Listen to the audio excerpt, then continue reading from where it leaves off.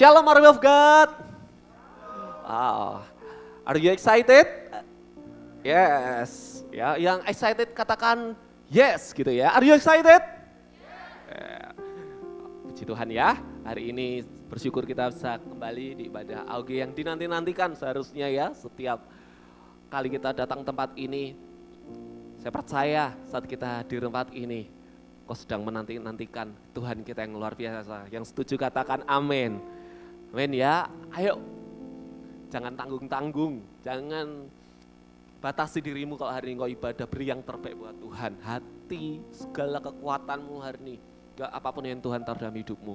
Ya, puji Tuhan. Dan hari ini kita akan belajar bersama-sama, masuk di dalam bulan yang baru, bulan Juli, ya tidak terasa kita sudah mulai masuk di awal semester kedua di tahun 2022.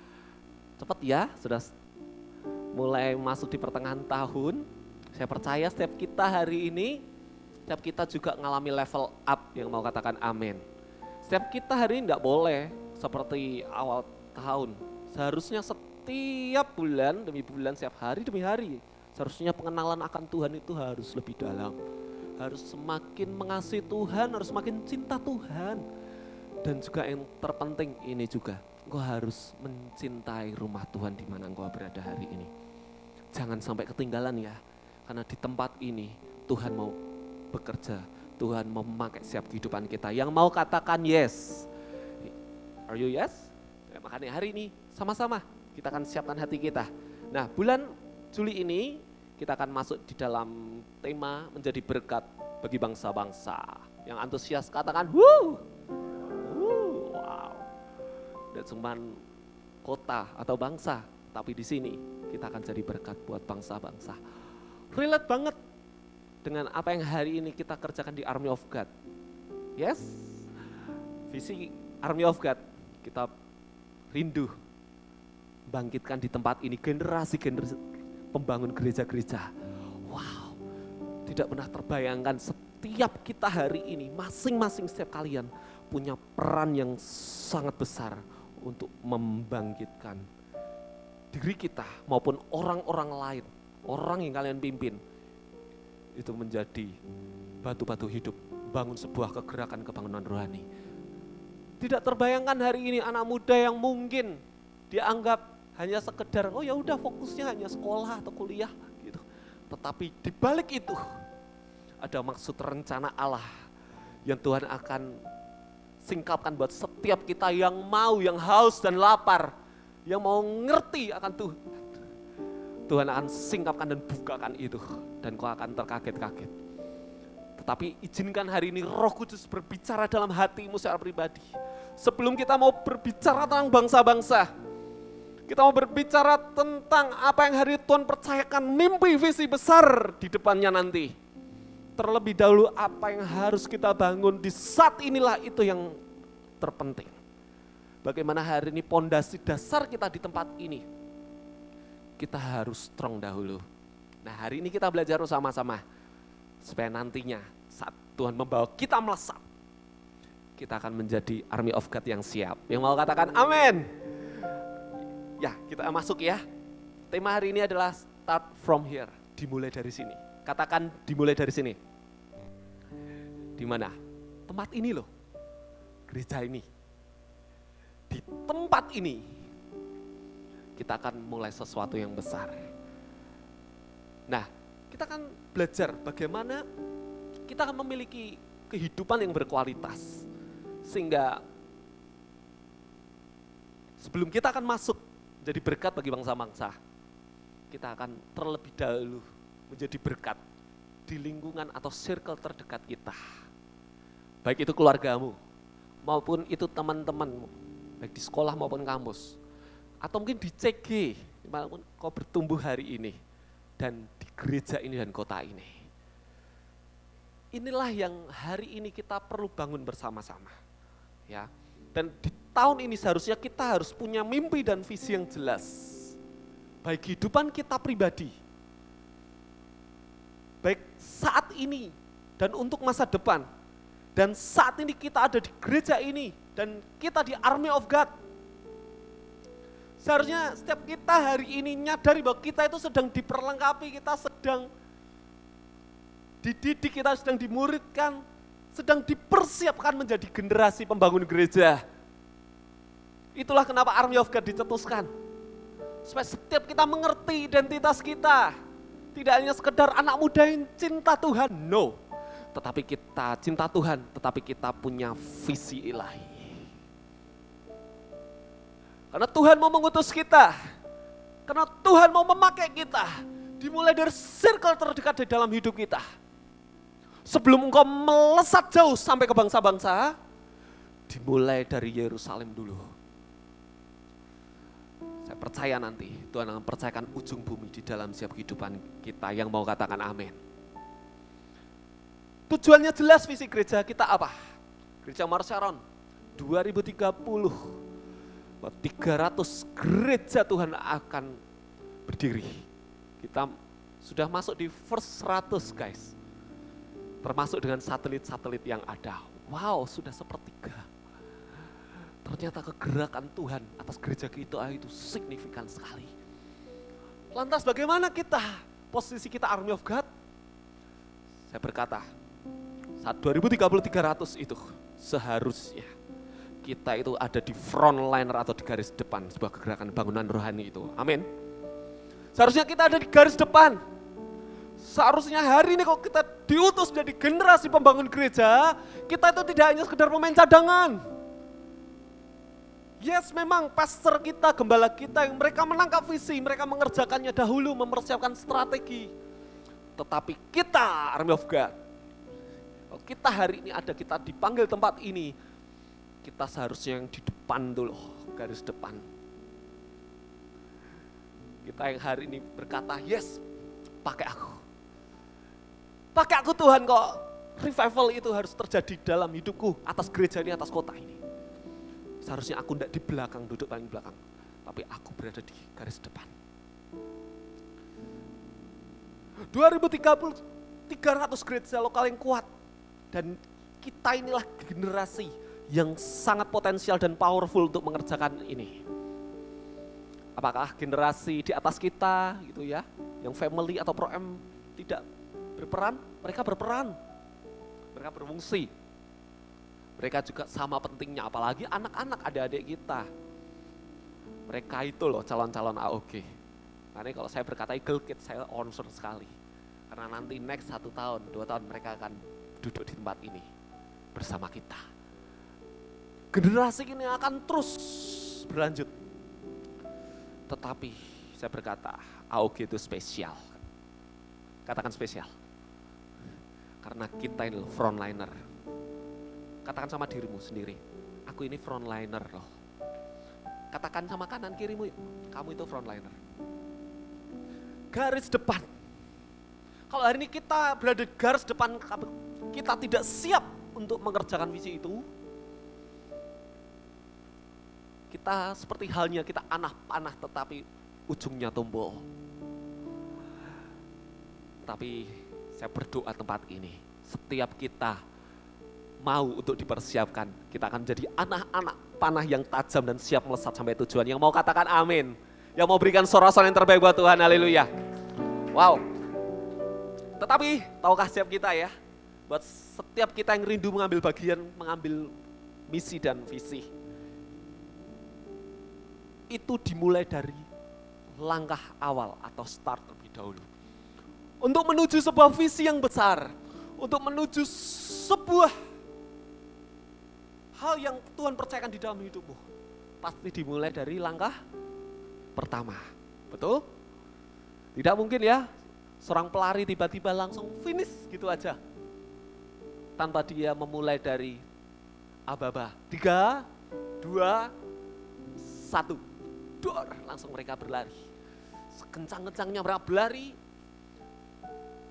hingga yang tujuan itu adalah pita itu yang ada di garis finish. Oleh sebab itu saya berkata bahwa langkah awal itu akan menentukan. Sebelum kita mau melihat visi Tuhan terjadi dalam hidup kita, lihat dulu. Apa kita memulai sebuah awal dengan benar atau sebaliknya. Nah, makanya hari ini kita bersama-sama belajar untuk mengerti betul supaya kita tidak salah langkah dan salah jalan. Ya, sebab itu kita harus nangkap bahwa visi itu harus dimulai dengan satu langkah pertama dan langkah selanjutnya itu akan menentukan perjalanan kehidupan kita. Jadi hati-hati dalam melangkah. Hati-hati dalam memutuskan sesuatu. Hati-hati di dalam mengambil sebuah keputusan yang genting, termasuk ya masa depanmu besok. By the way, tak kasih spoiler ya untuk besok. Besok ibadah AOG kita itu spesial banget loh guys. Ya, karena besok kita akan apa? Hari ini kita mempersiapkan ya dan di minggu besok Pastor Mil Budianto akan datang tempatnya. Antusias mana suaranya dong? Salah satunya ya, kita akan belajar sama-sama. Kita akan mengerti betul. Nanti next masa depan kita, kita akan ke mana. Kita akan dituntun, kita akan belajar sama-sama. Where am I next? Kita harus ngerti, harus. Jangan sampai kita itu kehilangan visi. Jangan sampai kita nanti setelah lulus kuliah atau lulus kerja, kita ditanya kamu mau ke mana setelah itu. Enggak tahu kok, mengalir aja nggak tahu kok mau kerja di mana. Kalau ngelamar ya diterima ya puji Tuhan, kalau enggak ya haleluya gitu ya. kalau misalkan sekolah mau kuliah gitu loh ya, aku pengen kuliah ini tapi aku merasa nggak mampu. Itu terlalu favorit atau apa? Hei, kalau hari ini Tuhan berkata rancangan Tuhan bukan rancangan kecelakaan tapi rancangan hari indah penuh harapan. Itu bukan hanya sekedar kiasan tapi itu adalah sebuah kepastian. Katakan amin. Ya dan amin. Tidak ada satupun hari yang menggagalkan rencana Tuhan. Yang ada yang menggagalkan adalah persepsi dan diri kita sendiri. Dan salah satunya ada langkah atau keputusan kita.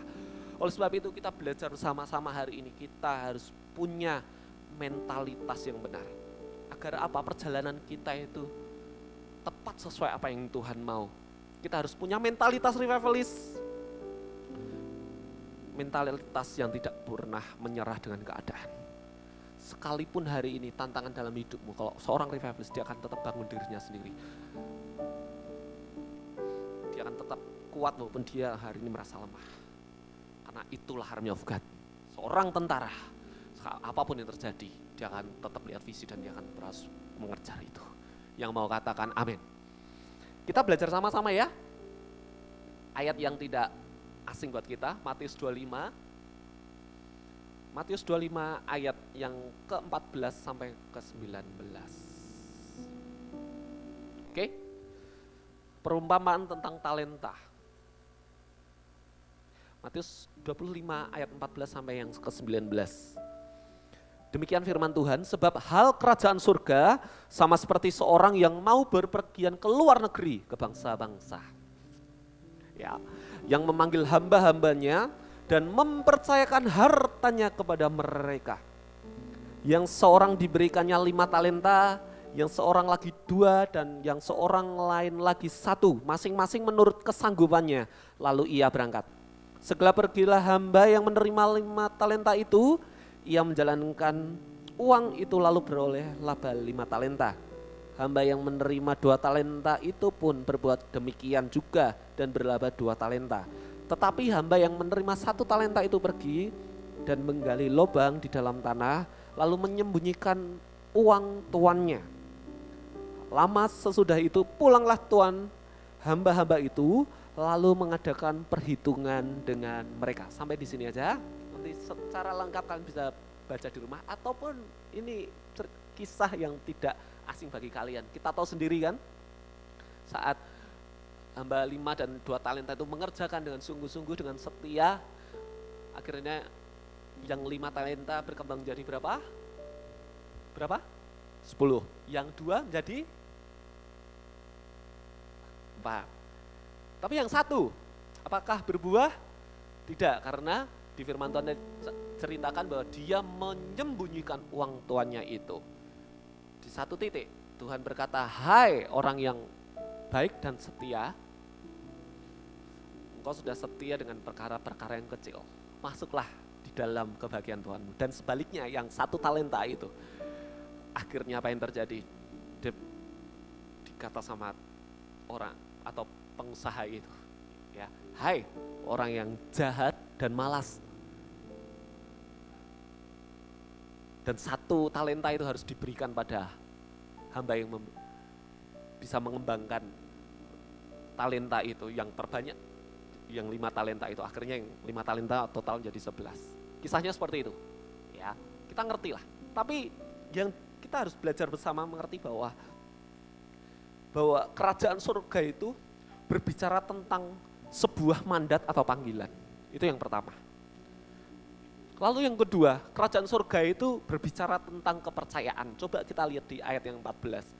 Sebab hal kerajaan surga sama seperti seorang yang mau berpergian ke luar negeri. Ya. Bosnya itu mau keluar negeri, mau tugas atau misalkan mau meeting dengan kliennya seperti itu. Dan dia mempercayakan hamba-hambanya, ya, dan dia panggil, hei A, B, C gitu ya, masuk semua langkah awal di mana Tuhan mau memakai setiap kehidupan kita pasti dari awal pertama adalah sebuah panggilan dulu. Saat kita merespon, baru setelah itu akan ada sebuah kepercayaan. Jadi panggilan dan kepercayaan itu tidak akan pernah terlepas dari setiap kerinduan Tuhan buat setiap kita.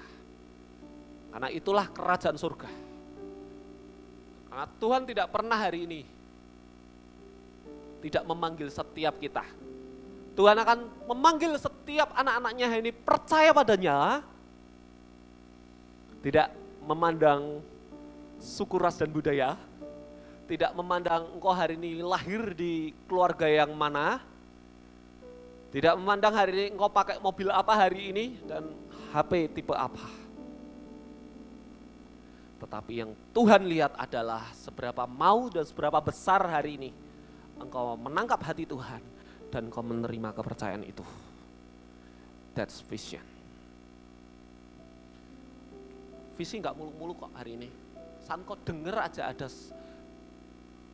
firman Tuhan atau visi Tuhan yang kau terima dari pemimpinmu atau mungkin dari CGM. Ayo sama-sama yuk. Kita gerak. Kita jangkau sekolah kita, kita jangkau kampus kita That's vision. Itulah kerajaan surga. Kalau hari ini kita merasa terpanggil, itulah di saat itu kau sedang dipercayakan suatu.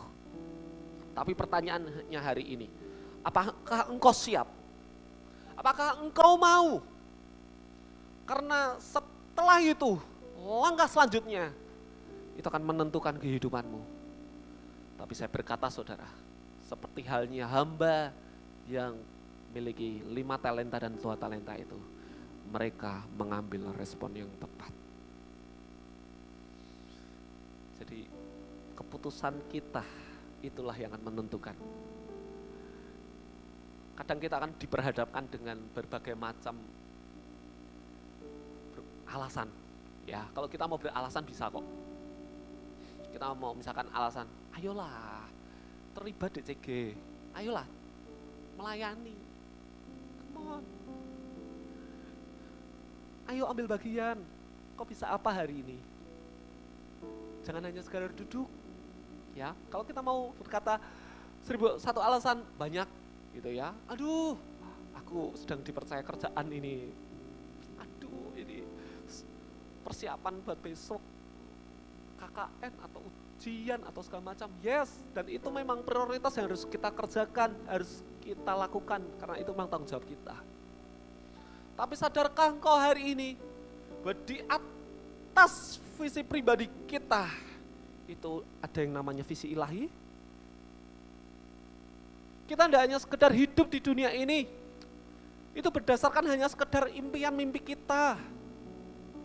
Kalau kita mau berkata hari ini aku ingin jadi orang sukses betul. Tapi itu mimpi kita, itu visi kita. Dengarkan baik-baik. Kok engkau mau hari ini jadi orang yang mau dipakai untuk jadi seorang yang sukses gitu ya? Siapa sih yang nggak mau? Saya aja pengen jadi orang yang nantinya dipandang orang banyak, tapi itu visi kita. Di atas itu ada yang dinamakan visi kerajaan surga. Coba kita lihat di Matius 6 ayat 33. Seharusnya ini menjadi respon kita. Saat kita mengerti bahwa di atas visi pribadi itu ada visi ilahi. Yang harus kita lakukan adalah Matius 6 ayat 33. Kita baca bersama-sama ya. Dengan keras, 3, 2, 1. Tetapi carilah dahulu kerajaan Allah dan kebenarannya. Maka semuanya itu akan ditambahkan ke padamu. Katakan amin. Itu yang harusnya jadi fokus setiap kita. Army of God, harus sadar bahwa di atas visi kita, planning kita ke depan, masa depan kita mau jadi apa, kau mau kuliah di mana atau segala macam dengan baik. Di atas itu loh. Ada visi ilahi. Visi ilahi lah. Ini loh. Tuhan mau memakai kehidupan kita. Kalau tidak ada visi ilahi, kenapa Tuhan Yesus turun di dunia ini? Kenapa dia mau mati buat kita? Kenapa dia mau relakan hidupnya buat menebus dosa dan kesalahan kita? Kita harus renungkan itu saudara. Kalau nggak ada visi ilahi. Karena begitu besar kasih Allah akan dunia itu, itu visi ilahi. Harusnya kita bersyukur, kita masih hidup, kita menikmati nafas, kita masih bisa makan enak gitu ya kita masih bisa jalan-jalan sama teman-teman hari ini. Itu semuanya karena visi ilahi. Sadarkah engkau hari ini? Coba kalau nggak ada visi Tuhan dalam hidupmu, kita jadi apa? Oleh sebab itu hari ini kita mau belajar mengerti. Kalau hari ini kita Army of God, seharusnya kita hari ini mengerti betul bahwa harus kita harus letakkan visi kerajaan surga itu harus menjadi prioritas utama dalam hidup kita. Yang mau katakan amin ingatlah selalu ya bahwa di atas visi kita harus ada visi ilahi. Ya benefitnya apa? Tadi firman Tuhan dikatakan saat kita utamakan kerajaan Allah dan kebenarannya, berarti kita juga harus hidup di dalam kebenaran itu, tidak hanya hidup di dalam visi. Firman Tuhan berkata, maka semuanya itu akan ditambah-tambahkan. Semuanya itu, everything. Apa yang kita tidak duga atau kita pikirkan. Ternyata Tuhan jauh memikirkan apa yang lebih berharga. Wow. Itu loh Tuhan kita. Kita harus bangga sama Tuhan kita. Mungkin kita bisa merancangkan plan A. Tetapi tahukah engkau hari ini Tuhan punya plan di atas A itu. Dan seharusnya yang dikejar itu adalah pribadinya Amin. Kejar pribadinya, ayo jangan jauh lagi dari Tuhan. Cintai Tuhan. Kejar terus. Apa yang jadi kerinduannya? Hidupmu tuh harus dekat dengan Tuhan. Gak bisa hari ini kau gak bisa hidup tanpa Tuhan. Mungkin kau hanya itu, kejar yang visi pribadimu itu aja. Tapi kalau hari ini kau tahu ada di atas itu ada visi ilahi Engkau akan mencapainya itu bukan dengan kekuatanmu sendiri, tapi itu karena pimpinan dan penyertaan Tuhan. Katakan amin. Siapa yang mau hari ini hidup di dalam visi ilahi? Saya angkat tangan. Nah, jadi ayo kita harus sadari, Tuhan itu sumber visi. Katakan Tuhan itu sumber visi. Tetapi kita harus tahu bahwa gereja ini adalah penyedia visinya Tuhan. Jadi kalau kita ingin mendapatkan visi ilahi itu, mau tidak mau, kita harus berada di mana? Rumah Tuhan, gereja Tuhan. Amin. Kita harus sepakat dengan ini. Kalau enggak, kita tidak akan bisa nangkep akan kerinduan Tuhan. Kalau engkau mau hari ini, mau ngalami visi ilahi dalam hidupmu, mau tidak mau, hidupmu, hatimu, waktumu, harus betul-betul berikan terbaik. Aku tahu di rumah Tuhan ini ada visi. Bukan berarti loh ya, gue minta kalian semua jadi full time. Gitu ya. Kalau terpanggil puji Tuhan, 2030 300, Tuhan butuh banyak abad Tuhan. Percayalah, dan saya berdoa tempat ini akan lahir dari Army of. Dari Solo ini bahan lahir. Tapi saya nggak minta itu jadi sebuah keharusan kok. Ada yang bilang siap loh, itu dipegang loh. Gue juga gitu dulu.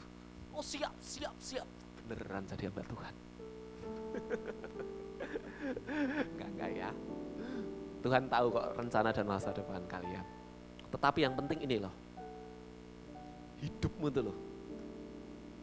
Ditaruh di mana? Itu akan menentukan masa depan. Kalau kita tahu hidup kita ditaruh di tempat ini, ada visi ilahi.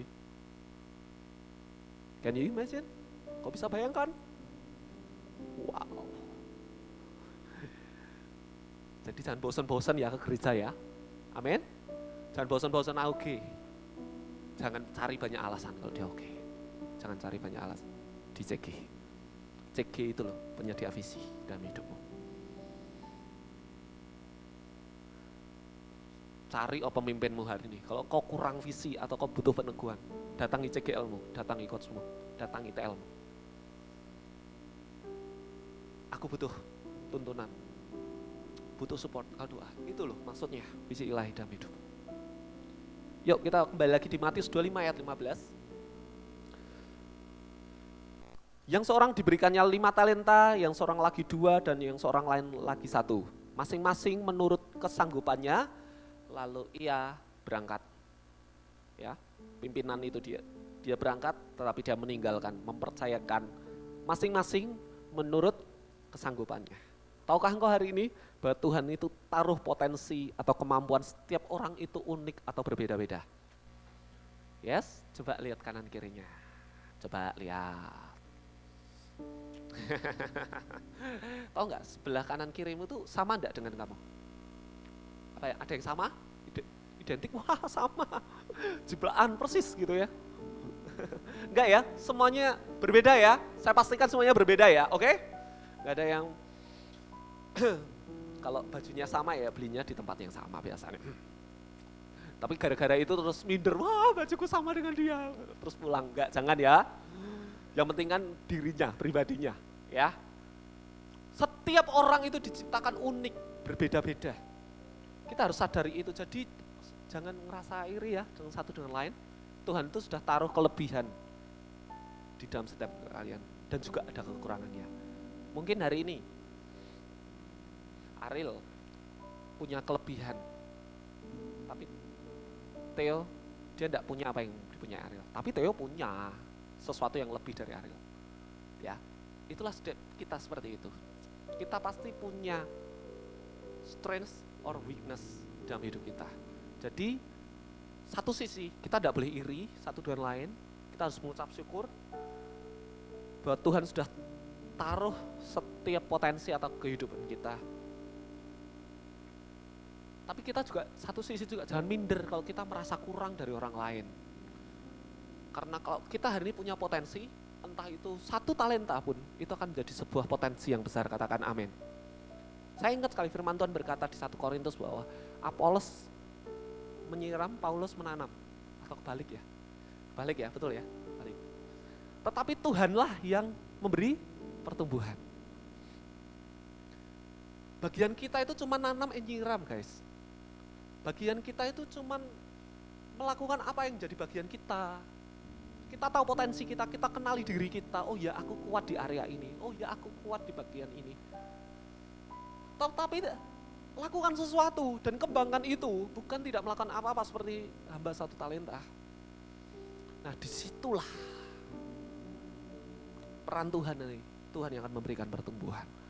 Kalau hari ini engkau ingin bertumbuh di dalam CG atau bertumbuh di dalam gereja ini, bertumbuh di dalam area segala hal, tidak hanya sekedar engkau mengenali dirimu sendiri, tapi kau juga harus mau untuk mengembangkan potensi itu, kembangkan kapasitasmu. Kembangan kapasitas itu tidak mudah dan itu memang sakit. Kalau orang ditarik gitu ya, stretching gitu kan gak enak ya, kalau kita mau bisa berlari 100 meter sprint, latihannya pasti nggak main latihan jogging biasa gini ya. Nggak mungkin guys. Latihannya juga harus lebih kenceng gitu.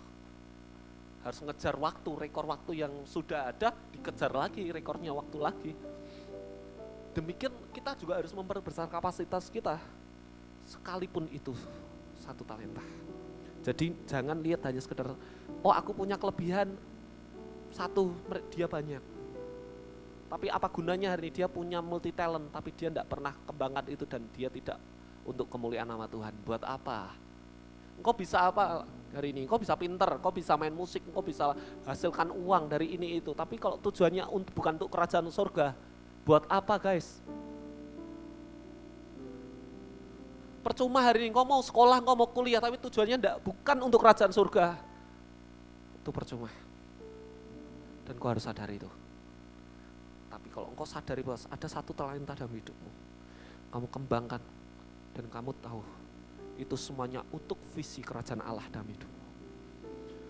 Itulah yang dikenan Tuhan. Tuhanlah yang akan memberikan pertumbuhan, katakan amin. Karena hamba yang lima talenta, dua talenta itu, dia tahu visi bapaknya, pengusahanya.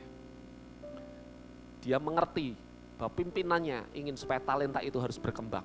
Tidak hanya sekedar lima, cukup lima. harus bersyukur ya dengan apa yang kau miliki hari ini. Lanjut di ayat 16 17. Segera pergilah hamba yang menerima lima talenta itu. Ia menjalankan uang itu lalu beroleh laba lima talenta. Perhatikan ayat ini. Kata pertama apa? Kata pertama apa? Segera. Segera itu kapan? Nanti? Besok? Sekarang juga. Hamba lima talenta itu dia ngambil putusan tuh sekarang. Enggak nanti-nanti, enggak besok-besok. Dia menerima, dia menjalankan itu. Hasilnya. Berbuah. Demikian yang dua juga lakukan yang sama. Bukan masalah dua atau lima sebenarnya. Tetapi bagaimana dia melakukan itu dengan segera. Ternyata dengan kata segera itu akan menentukan kita akan bertumbuh atau tidak. Berarti seperti ini, kalau kita mau belajar, kalau hari ini kita mengerti bahwa dimulai dari visi yang kita terima, kemudian visi itu direncanakan, ya, kemudian kita ngerti rencana itu step by stepnya seperti apa, itu harus dikerjakan. Dan saat kita mengerjakannya, waktunya kapan? Jawabannya adalah segera. Kalau tanpa kata segera ini saudara, yang kita sudah rancang dari awal itu tidak akan pernah terjadi dalam hidup. Mungkin terjadi tapi lambat. Apalagi kalau tidak lakukan apa-apa. Jadi yang menentukan kehidupan kita untuk kita bisa mengalami akan pemakaian Tuhan. Lihat kata segera ini. Miliki spirit untuk tidak menunda-nunda. Atau kita harus mengerti. Kalau ada hal yang kita kerjakan, jangan bilang, oh besok ya. Kalau kita tahu, kita harus kerjakan, untuk kerjakan sekarang juga. Tolong ya, kita belajar sama-sama. Kalau misalkan ada di setiap kita hari ini, ya, jangan pernah menunda-nunda ya. Leader, saya berkata dari mimbar ini, jangan tunda-tunda. Kalau hari ini ada mandat atau calling dalam hidupmu atau hal yang hari sedang dipercayakan harus segera sampaikan ke anak-anak, jangan tunda-tunda. Jangan sampai anak itu terlambat dengar hanya karena pemimpinnya tidak mau sampaikan itu. Bukan tidak mau sih, menunda terutama. Kita harus sama-sama belajar untuk memiliki spirit ini, tidak menunda-nunda tugas atau pekerjaan. Bagaimana nasib hamba satu talenta? Di ayat yang ke-18, hamba yang menerima satu talenta itu pergi dan gali lubang di dalam tanah, lalu menyembunyikan uang tuannya. Dari sini kita belajar guys. Ya, ini adalah ketakutan banyakkan orang dan mungkin hampir semua orang. Yaitu apa? Takut gagal. Takut gagal. Apakah kita pernah gagal? dalam segala sesuatu kalau kita tidak pernah gagal, kita tidak akan pernah belajar. Tapi kalau kita tidak pernah melangkah, sama halnya dengan satu talenta ini, dia tidak akan dapat apa-apa. Saya percaya lima talenta, dua talenta itu mereka pasti juga mengalami kegagalan kok, percayalah. Tapi yang terpenting apa? Mereka konsisten, mereka tetap mengerjakan itu, tidak nunda-nunda. Dan lihat hasilnya ada. Demikian hari ini setiap kita, Army of God, kau harus mengerti Pada saat kita belajar untuk tidak takut gagal, kita akan melihat sesuatu yang besar. Sekalipun kita harus ngalamin itu, tapi kita belajar untuk melangkah lebih baik. Jadi, so guys, jangan takut gagal. Tetapi jangan sampai tidak lakukan apa-apa, ini yang terpenting. Amin. Jangan sampai tidak lakukan apa-apa. Karena Tuhan ingin memakai setiap kehidupan kita. Yang mau katakan yes. Ayat yang terakhir, lama sudah itu pulanglah Tuhan hamba-hamba itu lalu mengadakan perhitungan dengan mereka. Tahukah engkau hari ini? Ini berita yang nggak enak sebenarnya buat saudara saya. Tetapi sebenarnya kalau kita hari melakukan seperti apa yang Tuhan mau, ini bukan bad news tapi good news sebenarnya. Tapi kalau kita tidak melakukan sesuatu itu, itu bad news. Karena suatu saat hidup kita akan dipertanggungjawabkan di hadapan Tuhan. Jadi jangan main-main ya guys. Umur kalian seperti ini. Kau merasa leha-leha santai-santai. Jangan sampai hari ini di hadapan Tuhan kau akan dikatakan hamba jahat dan malas. Tidak ada yang membelamu, percayalah. Papa mamamu nggak akan belamu. Orang-orang terdekatmu yang kau yang percaya sahabat sejatimu ya, best friend forever katanya, tidak akan.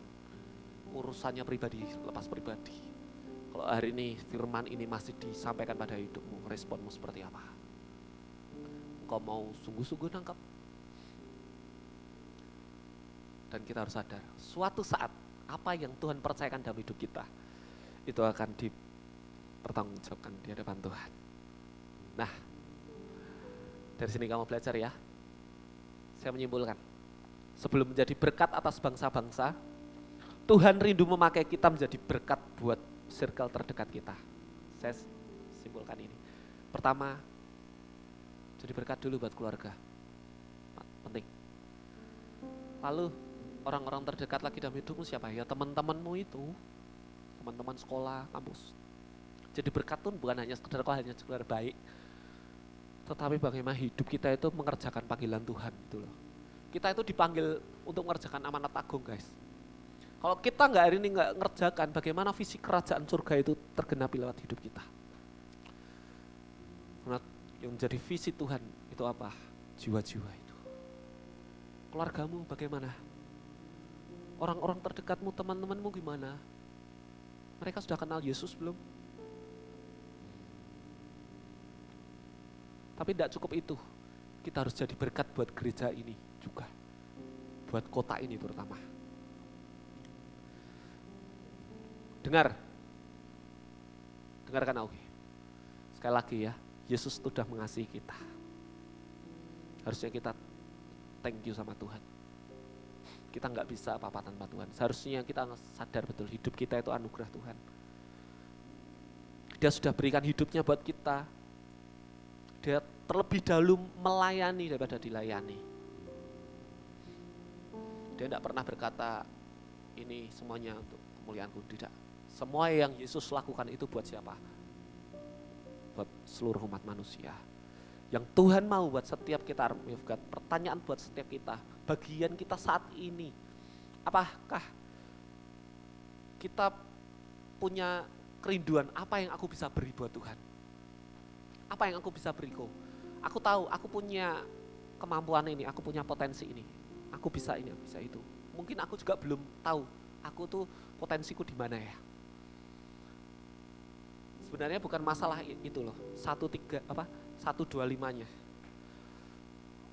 Yang pemilik atau pengusaha itu yang lihat itu bukan talentanya berapa, tapi yang pemilik yang lihat itu adalah hambanya itu loh.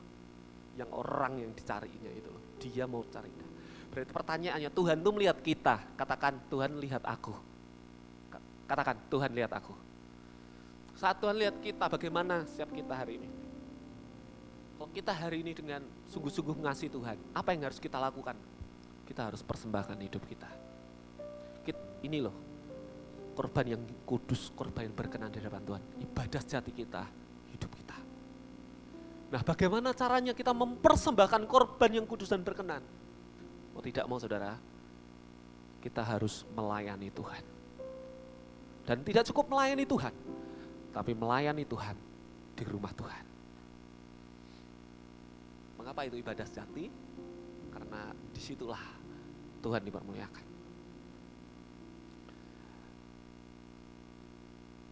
Nah kalau hari ini saya berbicara soal melayani Tuhan, itu lingkupnya, skopnya itu luas sekali. Karena itu tidak hanya sekedar di tempat ini, tapi bisa berbicara bagaimana kalian di sekolah atau di kampus atau bekerja itu juga pelayanan kalian, itu juga ibadah kalian. Ya, keluarga itu juga pelayanan kalian. Kita kita juga harus jadi berkat di sana. Tapi hari ini saya berkata dan mimbar ini, saya mau hari ini setiap kita, saya pun juga punya kerinduan yang sama. Kita harus sungguh-sungguh ngambil putusan, aku mau melayani Tuhan di tempat ini. Guys, come on, jangan hanya sekedar nyaman ya duduk tempat ini. Tapi libatkanlah diri kalian di pelayanan. Ya, Nah, melayani Tuhan di rumah Tuhan itu ada dua. Bisa berbicara tentang bidang pelayanan yang ada di gereja kita, guys. Oke. Sekarang tegakkan kepala kita, ya sudah tidak ada penghakiman, percayalah ya. Jangan tegang-tegang. Sekarang koyo mau cek ombak dulu, asik, cek ombak. Ya, supaya itu pengen tahu setiap kita apakah semuanya sudah berpartisipasi ikut dalam pelayanan. Saya mau tes dulu, cek ombak ya. Kita itu di sini banyak banget ya bidang pelayanannya. Ada apa saja? Yang pertama, ya kelihatan dulu deh, yang PAW gitu ya. PAW, S-Pro, kemudian kemudian mundur ke belakang ada tim Asir ya yang selalu say hi, welcome home tak terlihat tapi senyumnya merekah gitu ya. Terus yang di belakang MM multimedia, Espro yang di belakang juga, soundman gitu. Mereka itu pelayanan hati besar loh guys. Ya, mereka kalau semuanya all in, semuanya all is well gitu, tidak ada yang melihat. Coba aja kalau misalkan nging gitu aja suaranya, uh, kalian langsung lihat belakang. Piye toh? Soundman itu pelayanan mulia loh di sana berikan kemuliaan buat Tuhan Allah gitu. semuanya semuanya. Semua pelayan. Dan saya mau cek ombak dulu ya. Cek ombaknya gimana sih? Yang sudah pelayanan ya saya pengen minta kalian yang sudah pelayanan kalian berdiri sesuai dengan departemen masing-masing supaya kita juga ngerti ya ada yang belum ambil bagian ayo jangan tenangkan dirimu sendiri, aku juga ambil bagian ah gitu ya. Oke, saya mau panggil ya, yang sudah ambil bagian pelayanan ya, tim present worship, bangkit berdiri. Mana? Yang kalian ambil pelayanan present worship? Semua? Mana, mana, mana? Oke, Richard di situ aja, sudah. Oke ya. Kamu enggak PAW? ya, Lihat ya, dari sekian banyak ini yang PAW cuman bisa dihitung tuh satu dua tiga empat Dan mereka itu tugas ya hampir minimal dua kali ibadah atau tiga kali ibadah. Luar biasa, yuk kasih tepuk tangan baru. Next, selanjutnya S Pro. Mana S Pro? Woo! Bangga dong, what's S Pro mana S Pro? S Pro, wah yang Magelang juga ikut ya. Oke, S Pro, S Pro, S Pro, S Pro, S Pro. Wah mantap. Wah, kasih tepuk tangan dong buat yang tim Pro. Mereka itu juga luar biasa loh. Ada kesalahan dikit aja mereka tahu, kalian nggak sadar loh.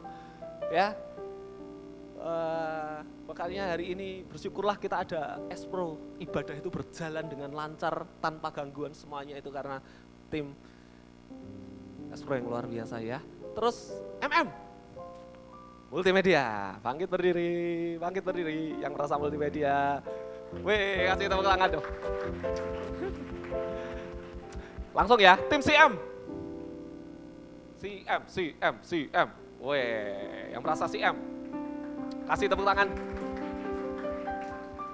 Ini dia yang paling kelihatan dari depan. Asyir. Ser. Asyir. Bangkit berdiri yang Asyir. Wih, berikan tepuk tangan. Oke, silakan duduk kembali. Nah, sekarang, hari ini, kalau kalian, oh ya ada satu lagi belum. Yang tak terlihat, tetapi dampaknya besar. Prayer. Mana orangnya? Hari ini kalian terlihat di ibadah. Apa yang kalian, hari ini kalian terlihat di ibadah. Prayer, prayer, prayer, mana? Cuma ini loh. Oke, ada yang berapa belum berangkat ya? Oke, sip. Ada yang terlewat? Gak ada ya? Aman ya? Oh greeter, greeter, greeter. Malah greeter. Wah ini, ini keren nih. Wah, greeter, greeter mana greeter? Berikan tepuk tangan dong. Saya mau Saya mau berkata dari mimbar ini ya, dengarkan baik-baik. Kita itu dari sekian banyak tempat ini, kita yang melayani itu baru gitu loh. Seharusnya kita menyadari kalian, setiap kalian hari ini, yang merasa mereka hidup pakai Tuhan, kenapa aku enggak? Mulai saat ini, saya berdoa, roh kudus sedang bekerja dalam hati kalian. Ya, hari ini kenapa saya berkata ini? Karena memang saya mau, dari mimbar ini saya mau berkata, tidak ada satupun di tempat ini yang tidak melayani. Karena tidak ada di kerajaan surga itu tidak ada yang namanya pengangguran. Katakan amin. Semuanya itu bekerja, semuanya itu melayani Tuhan. Jadi saya dorong setiap kalian hari ini, Army of God, ayo segera ambil keputusan, jangan tunda-tunda lagi. Ambil bagian di dalam pelayanan. Ya, Servolution memang belum dibuka secara resmi ya karena nanti ada MSJ 2 setelah itu baru nanti Servolution. Tapi saya berkata ya, mulai sekarang kalian harus cari pemimpin kalian, CGL kalian. Kalian bilang, aku mau rindu melayani. Aku mau terlibat, aku mau ikut di multimedia, aku ingin mengembangkan kapasitasku juga di present worship. Aku tahu potensiku.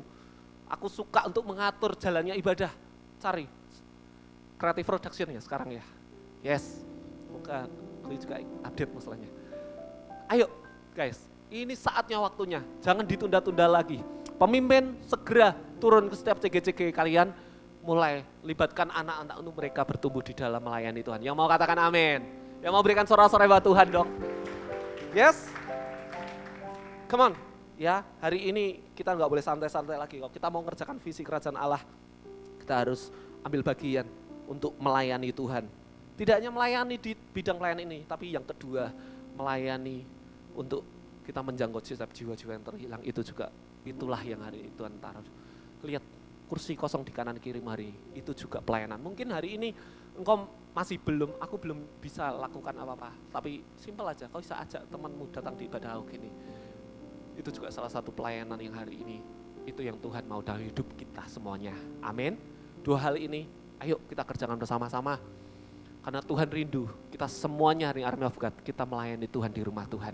Karena kita tahu ada visi Tuhan yang besar dalam hidup kita, kita hari ini dipersiapkan jadi generasi membangun gereja, tetapi kita harus cintai gereja lokal kita dimulai dari tempat ini dulu. Amin.